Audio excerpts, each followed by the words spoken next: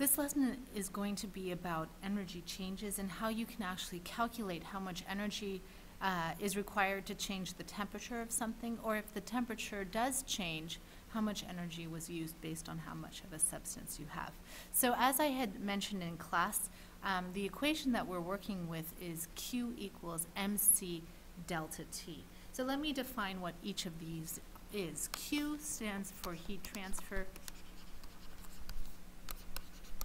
And heat transfer can be in two types of units. It can be in calories, which is CA, uh, CAL, or in joules, which is in J.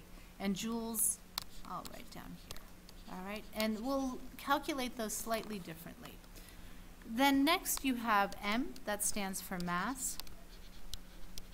C, sometimes also used as S, um, stands for, or C, stands for specific heat. Each substance behaves differently with a certain amount of energy put into it. And for example, water has a really high specific heat. That means it takes a lot of energy to heat it up or cool it down. Whereas something like a metal, you notice if you put metal onto a hot plate, it heats up really fast. It has a very low specific heat. And then the last component is delta T, and that is a change in temperature. And with this equation, we can more or less do any sort of calculation. So I'm going to go through three different examples of how we can use this equation to calculate uh, certain quantities that we want to figure out. So the first uh, example is you have, um, we want to know on how much energy is transferred to raise five grams of water from 25 degrees Celsius to 75 uh, degrees Celsius. So again, we're going to start with our uh, equation. So Q, remember, is transfer of energy. Then we have M, and I will use C and delta T. Okay, so that's our equation. And literally, we are just plugging in numbers. So we are looking for a heat transfer. That is our Q. That is our unknown. We'll put that as a question mark. M is mass of whatever substance we have, and it looks like I have a mass right here, so that's my M value. Next, I have the substance. So C is what, what material is it that I'm using, and I'm using water in this case, okay? So what I'm going to do is I will open up my book to page 297. And on page 297, I have a small box that tells us the specific heats of all of these things. I'll tell you right now that water has a C value of one calorie for each gram for Celsius, okay? So, and that calorie is CAL. So that's uh, what I'm going to have as my value, 1 being the answer. Okay? So 1 uh, calorie per gram per uh, Celsius. And then next here I have 25 degrees to 75 degrees. So here I have a temperature. Remember this is a difference in temperature. So I need to have how much did the temperature change. So simply I plug in the numbers. My M value is 5 grams, all right? My C value, that will always be given. You will never have to, well, sometimes you'll calculate it, but it'll be an easy calculation, is uh, one calorie per grams per Celsius. And then lastly, remember, is my delta T, the difference in temperature. And so for that reason, I have 75 degrees minus 25 degrees, because it is a difference.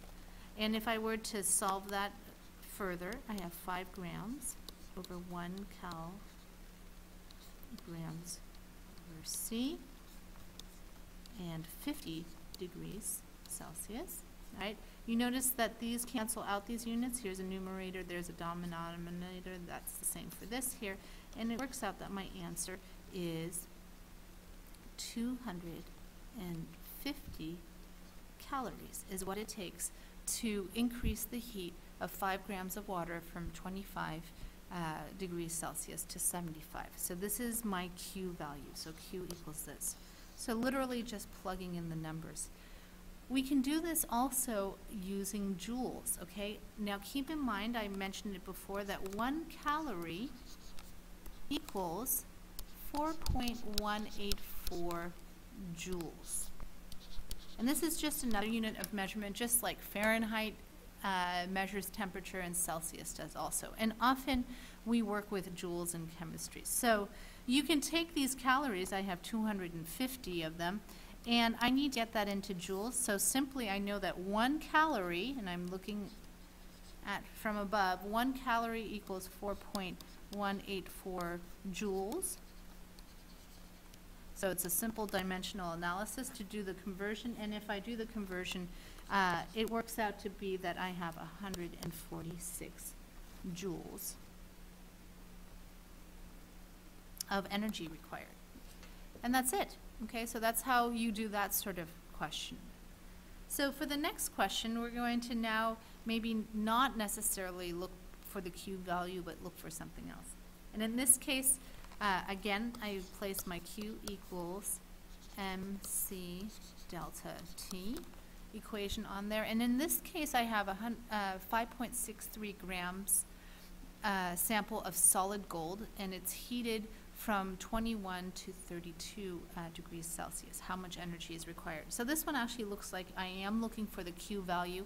Same thing. In this case, I have here my mass, so that's my M value. In this case, this is my substance. I have gold. Okay, I go to page 297, and I notice that on page 297, that gold has a specific heat of, so my C value is 0.13 joules. So this one is in joules for grams, for every gram Celsius, okay?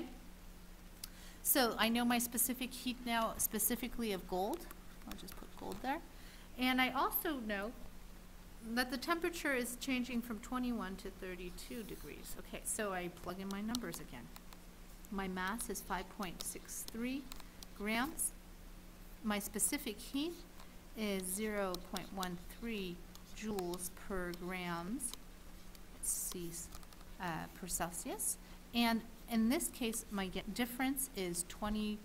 I always make like to have it be a positive number because it's just a difference that I'm looking at. All right. So if I were to rewrite that, 0.63 grams, 0.13 joules per gram for C works out to be, just to make sure, 11 degrees Celsius. And if I plug in those numbers, it works out to be that I have a total of 8.1 joules, okay? So now it's asking me in this case to convert that into calories as well. So same thing. Remember, my conversion rate is that I have for every one calorie, 4.184 joules.